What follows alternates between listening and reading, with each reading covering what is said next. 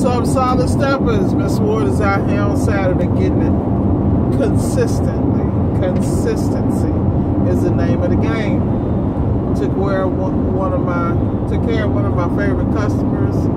She works with Telemundo uh, down in Doral.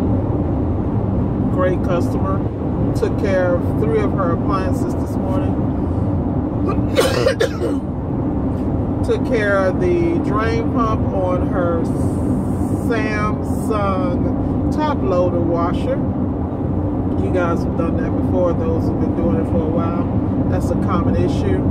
Took care of her ice maker and her Samsung, excuse me, Samsung French door uh, refrigerator, and then I took care of her Frigidaire dishwasher.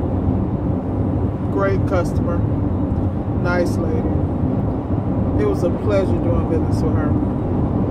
See, those are the customers that uh, appreciate what you do. Excuse me, guys. Give me one second. The people that appreciate you, those are the ones you want to take care of. They uh, make it easy for you to do your job, number one. Number two, not every customer is your customer sometimes they need to be to be a customer for someone else, a competitor, or someone else that's going to put up with that BS. I also want to send a shout out to my customer from last night, uh, Mr. Jerry, really nice guy. Really nice guy. Taught me a lot about empathy, what's going on in other parts of the world. The man gave me like a collector's wrench set gave me a collector knife, like an imperial knife. You know what I mean? You know, he's an older guy, there by himself, just trying to get stuff done, and just asking for a little respect and patience. And really nice man. Shout out to you, Jerry. So, the lesson of the day: make sure the people around you are making you stronger at what you do. I was talking to one of my friends this morning, Lori. What's up, Lori? Um, she does a lot of trading as far as stocks and things, does really well there. And, you know, we were just talking about cash flowing assets and investments and places to put our money so it will work while um, we make more.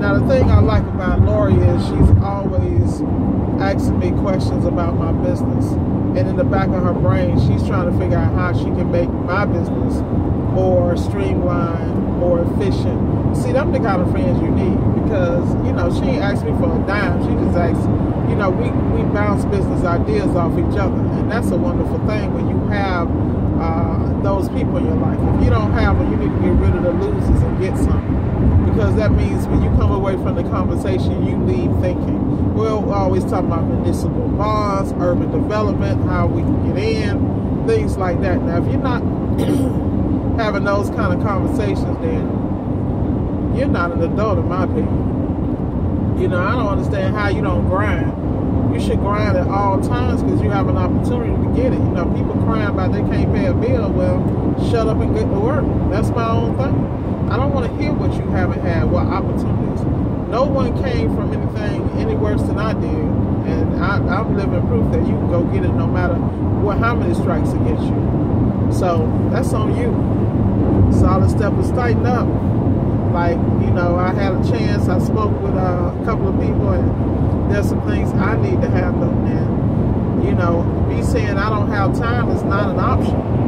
Because once things come to your attention, you got to go get it. And I'm going to just really um, talk to my solid steppers and, you know, you don't have tomorrow. So whatever you need to do, you need to get it done today. You need to do it well. Don't half-ass do it. You know?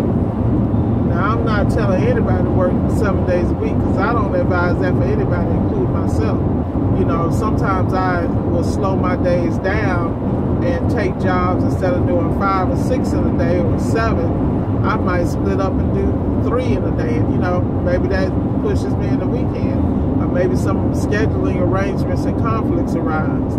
But I never recommend anybody work seven days. That's ludicrous.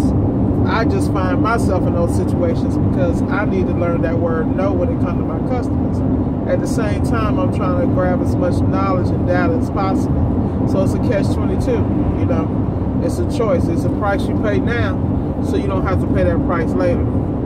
So I'm really proud. So this week I learned that in a pinch, if need be, this boy need to go out, need to know how to go out. I had an issue with a board, and I sent my courier to go pick up a board from uh, a supplier. I'm not gonna put nobody on blast.